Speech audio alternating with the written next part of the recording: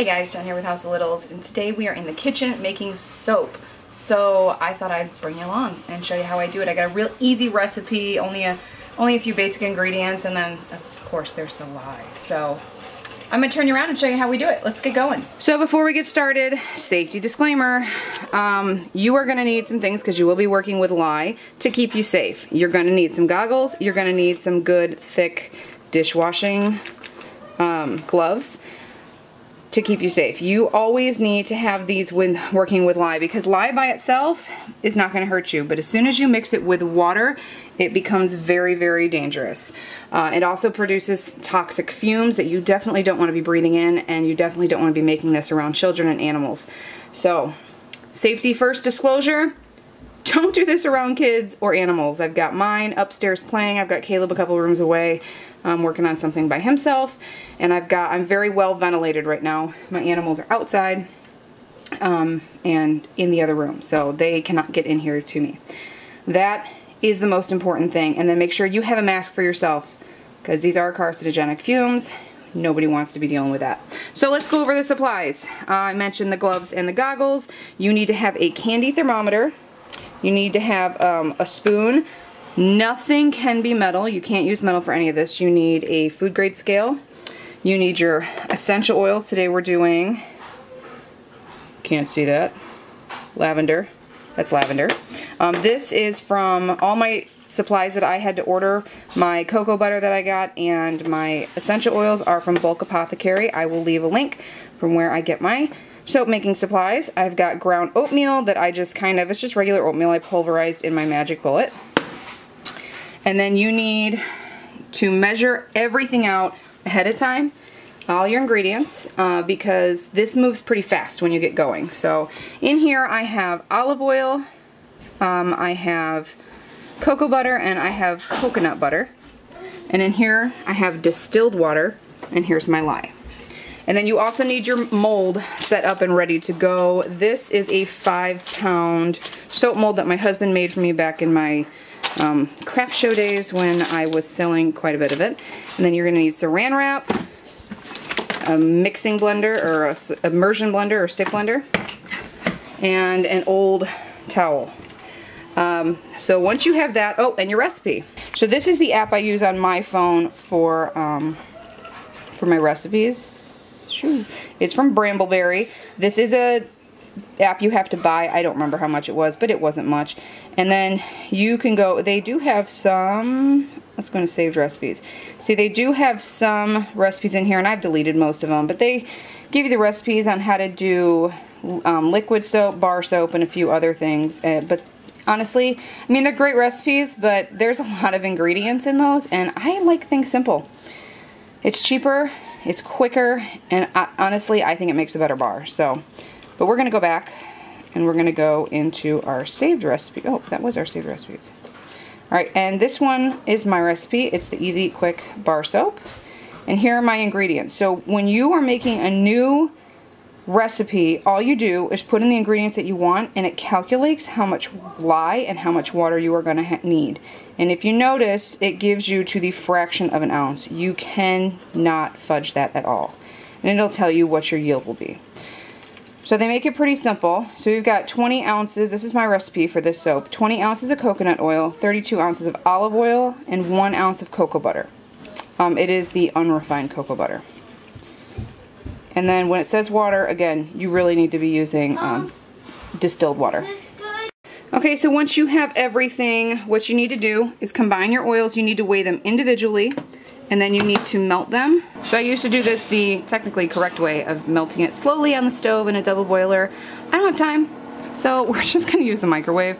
The thing you want to be careful with the microwave is you know it heats things up a whole lot faster and you'll get hot spots and what happens if you overheat stuff is it'll break down your oils and then you lose a lot of the nutrients and the benefits and you're just not going to make as good a bar. So we're going to very slowly in 30 second increments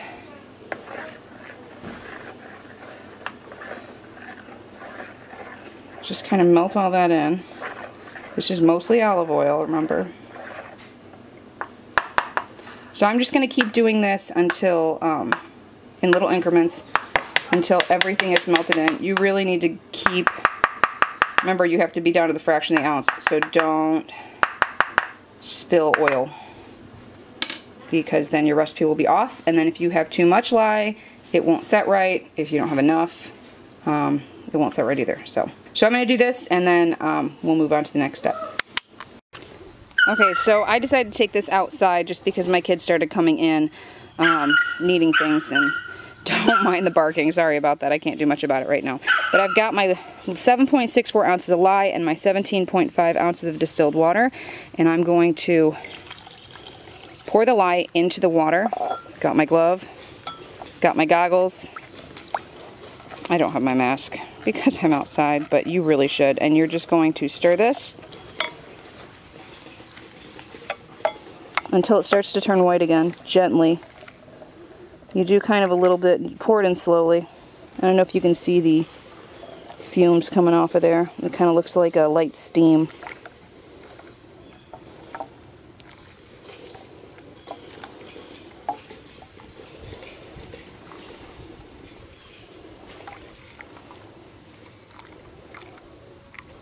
Get better, better ventilation outside anyway. So you see it's starting to turn white again, or starting to turn clear again. It's not going to be totally clear, but you just want to make sure it's all dissolved and it's starting to go clear here.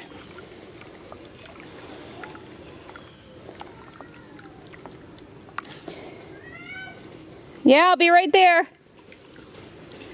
So this heats up to almost 200 degrees.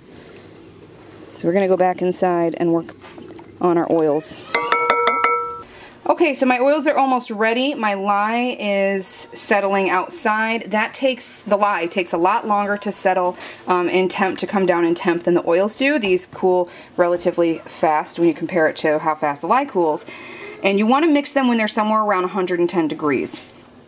Um, you really want to stick around that 110 mark. It's very, very important that it's not too hot and it's not too cold. It's very important for the saponification process, you know, for everything to turn to soap.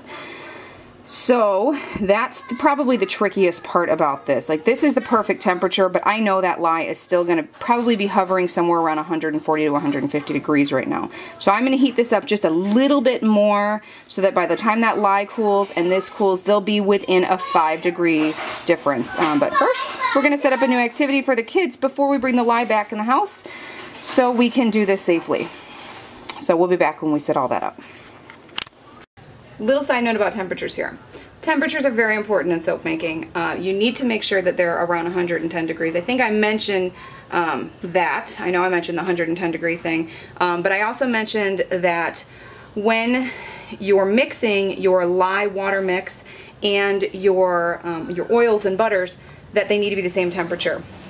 If they're both at 140 degrees, you cannot mix them together. You will have a lye volcano. Um, you need to make sure they're right around that 110 degree mark. I just want to make sure that I am super specific and clear on that mark uh, so that if you try this that you, you don't end up hurting yourself or somebody else or your kitchen because cleaning up lye volcano is not fun. Don't ask how I know. So this is almost ready. This is sitting at about 135, 140 degrees right now. Um, it needs to cool, but this will cool pretty quick, and I think the lye is probably sitting around 120. So, like I said, this cools a whole lot faster than your lye does. So I'm going to go ahead and run outside and go get my lye water and bring that in. And by the time I come in, this should be ready to mix together and we can make some soap. Alright, so there's our lye water swirling around. It is sitting at about 120. So we're to go ahead and mix. So we've got our lye water inside. Um, they're still sit, both sitting a little too hot. They're both sitting around 130 and 135 degrees. Um, having them about a 5, some people say in between 5 and 10 degree difference is okay. I like to put it no more than a 5 degree difference. Um, that's just my own personal preference. And then I will pour the lye water into the oils, never the other way around. So I'm going to go ahead and uh, turn on the exhaust fan, so I'll save you from that noise. Just to give, it doesn't smell or anything right now, but it still puts off fumes, so we're going to go ahead and let that just kind of get sucked into the exhaust and while this is cooling a little more, and we'll get back with you when we're ready to pour. Alright, so we've got some good temperatures here, and we are ready to mix. It's always a good idea to mix it slowly. You see how cloudy that gets? I don't know if, how well you can see that.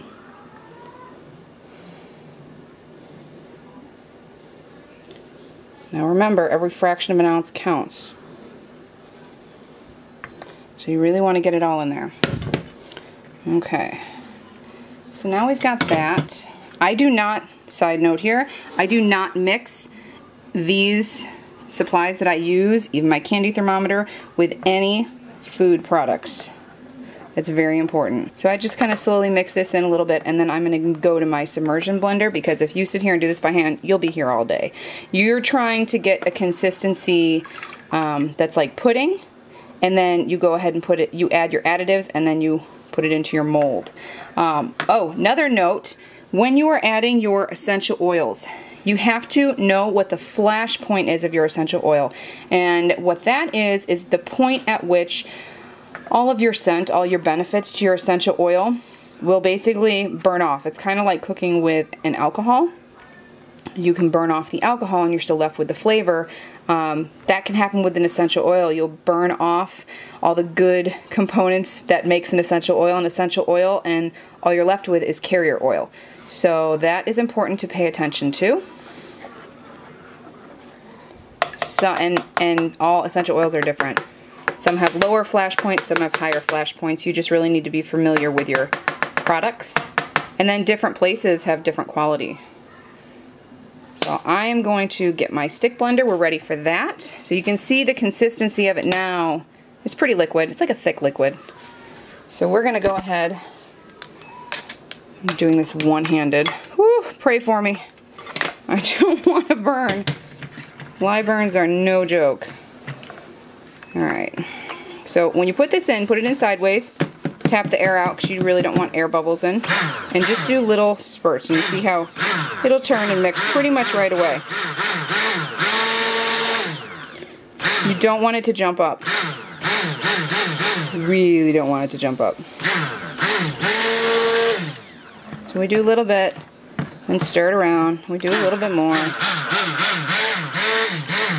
Until it starts thickening up, you really just want to go slow with it. And this is the part where it goes fast. Once you are mixing things, you cannot walk away from this. Your batch will be ruined.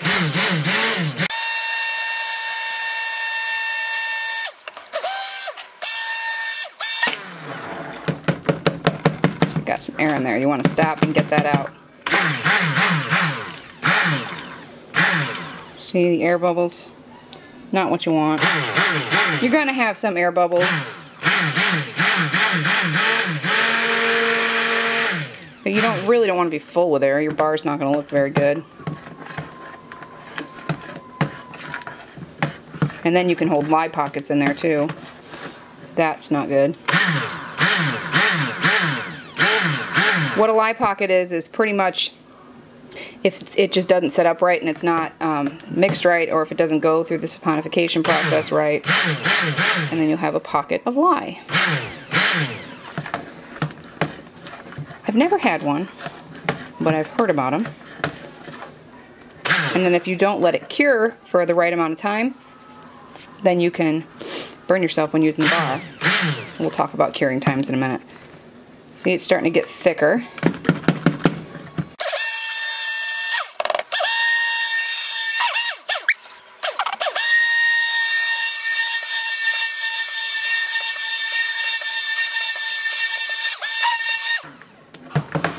Okay, so some people like it about like that and then they will mold it. I don't. I like it thicker. But this is what we call a light trace. When you pick this up and you can drizzle, and you see how the lines are starting to sit there, that's a light trace. That's a light to medium trace. So now is when you want to very quickly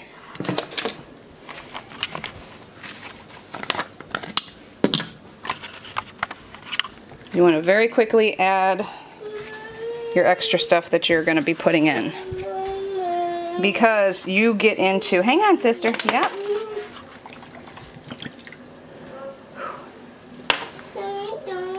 Yeah, we're going to go in just a minute. I just got to put this in the mold and then we're going to go. We're going to go to Menards. Alright, so this is when, because we got to get wood. And then we'll be home and you guys can play outside all day. they don't want to go to Menards. All right, go ahead. What is that? If you need help though, you're going to have to wait, okay? This is soap, buddy. No, what are you stirring? Oh, this is a stick blender. So if you put this, all these ingredients in beforehand, um, what you're gonna have is ingredients that will not hold in the soap. They'll sink to the bottom.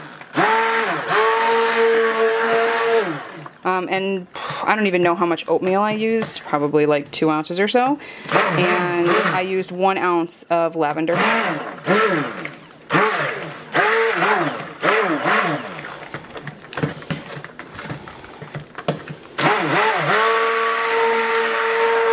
Now this process of soap making is called cold process soap making because it goes through the saponification process in the mold and it really, it sits in this mold and it cooks. Hang on, yeah, hang on a minute.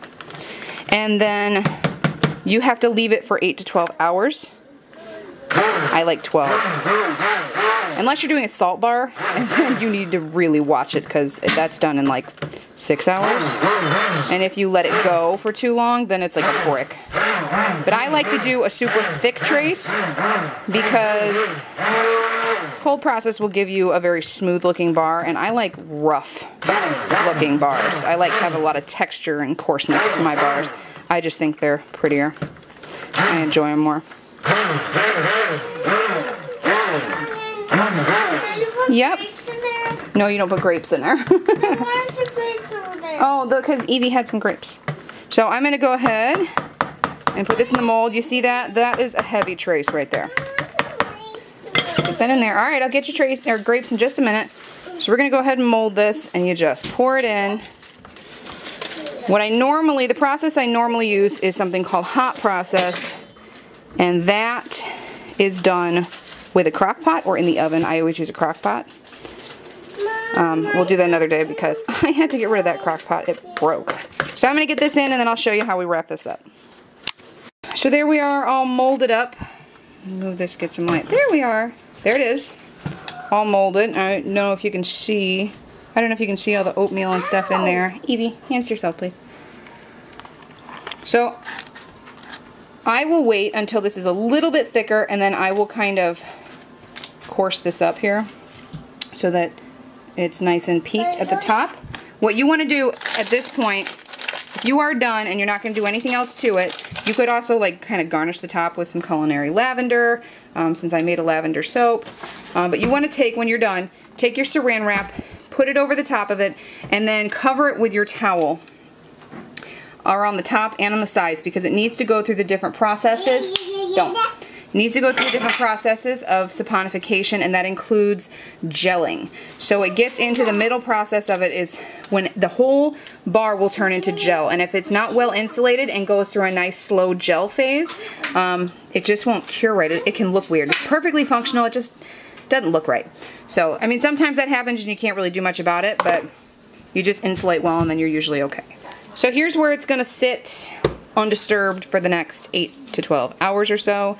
Um, it really needs to not move around if you can help it because if you jostle it, you can separate it and then it's got to reset and it just takes a whole lot longer.